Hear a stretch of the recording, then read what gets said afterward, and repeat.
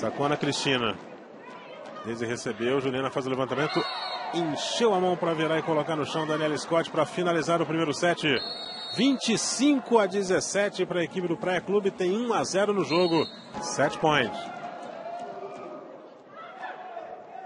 O levantamento, cobertura funciona. Camila Adão faz o levantamento para o ataque da Michele, bloqueia, amortece. Toque na rede do Praia. Na verdade, invasão por baixo do Praia, segundo.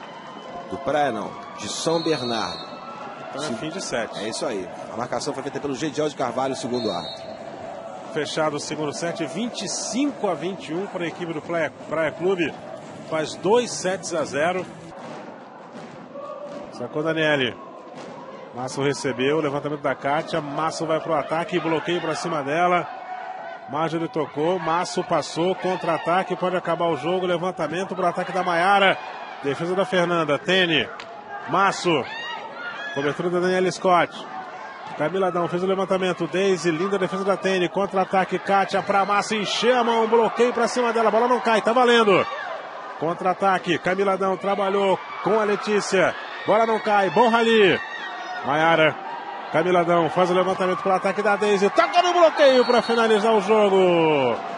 25 a 16, o terceiro set para o Praia Clube. 3 sets a 0. Com parciais de 25 a 17, 25 a 21 e 25 a 16.